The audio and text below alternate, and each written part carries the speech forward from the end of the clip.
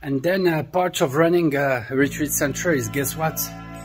Yes, the office paperwork. So right now, I'm about to uh, do a few things. One of them is I'm going to send the confirmation of reservation uh, because they need that to present that to immigration.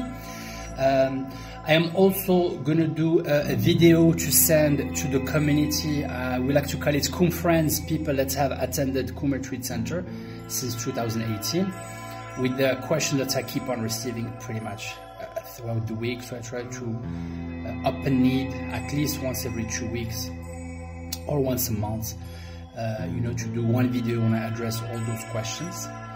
Um, I will also go ahead and write a blog. Uh, believe it or not, it's amazing how many people dream of opening their own retreat center. And uh, I discovered in that regard that I'm blessed, alhamdulillah.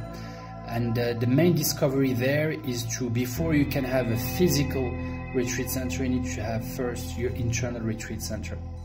So you'll be surprised how many people come here just to learn on how to build and open their own retreat center.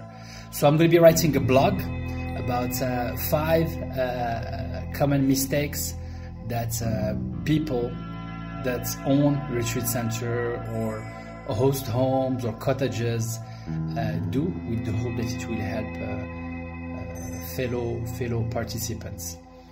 And and then after that, I need I'm going to be studying a book my my uh, mentor. Guess what? Yes, I do have people that support me that I check with on a regular basis to make sure that I remain on top of my game.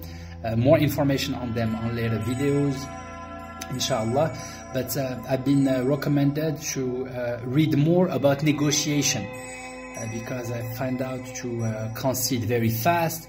I, lots of people tell me that the price here at the retreat are extremely low and uh, I've, I've never been um, uh, uh, a wolf in, in, negotiation, and I've always conceded very fast. I've always choose to avoid conflicts under the pretense that it's the best outcome possible. But then you realize that life is a non-stop uh, uh, flow of negotiations you can't help it. It's very rare to be across somebody who will be welcoming, loving, accepting of everything that you go through.